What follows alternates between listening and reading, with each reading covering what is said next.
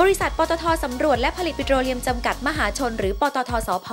ในฐานะบริษัทของคนไทย ที่นอกจากจะพัฒนาศักยภาพการสำรวจและผลิตปิโตรเลียมอย่างต่อเนื่องแล้ว ปตทสพได้ร่วมกับสถาบันต่างๆ คิดค้นและพัฒนานวัตกรรม เพื่อช่วยเพิ่มประสิทธิภาพในการทำงาน ให้มีความสะดวก รวดเร็ว ปลอดภัย และลดต้นทุนในการผลิตปิโตรเลียม เช่น หุ่นยนต์ใต้น้ำอัตโนมัติไร้สาย หรือ AUV ที่สามารถตรวจสอบอุปกรณ์การผลิตใต้ทะเล หุ่นยนต์ตรวจสอบภายในท่อ เพื่อตรวจสอบภายในท่อปิโตรเลียม และโดรน MPO ที่สามารถตรวจสอบอุปกรณ์ในที่สูงได้อย่างมีประสิทธิภาพ ซึ่งเทคโนโลยีดังกล่าว ได้นำมาจัดแสดงในงานประชุมและนิทรรศการ IADC SPE Asia Pacific Drilling Technology หรือ APDT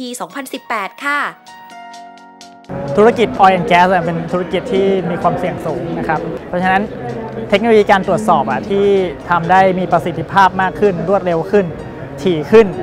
มันจะตอบโจทย์ตรงนี้ครับ โดรนตอนนี้ก็คือสามารถตรวจสอบอุปกรณ์การผลิตที่อยู่ในที่สูงได้นะครับไฮไลท์เลยคือตรวจสอบ flare นะครับหรือว่าภาษาไทยเรียกว่าปล่องเผาทิ้งนะครับมันจะสามารถมีกล้องที่ซูมเข้าไปทำให้เราสามารถประเมินและ ซ่อมแซมได้ทันท่วงเวลาครับ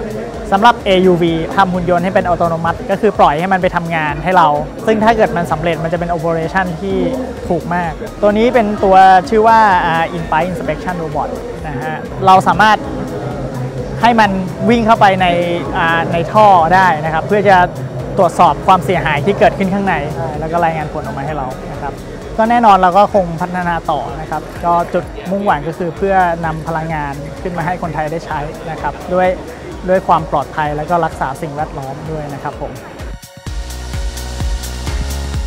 นับเป็นการพัฒนาเทคโนโลยีและนวัตกรรม ซึ่งช่วยต่อยอดองค์ความรู้ ในการดำเนินการสำรวจและผลิตปิโตรเลียม เพื่อช่วยสร้างความมั่นคงด้านพลังงานให้กับประเทศอีกด้วยค่ะ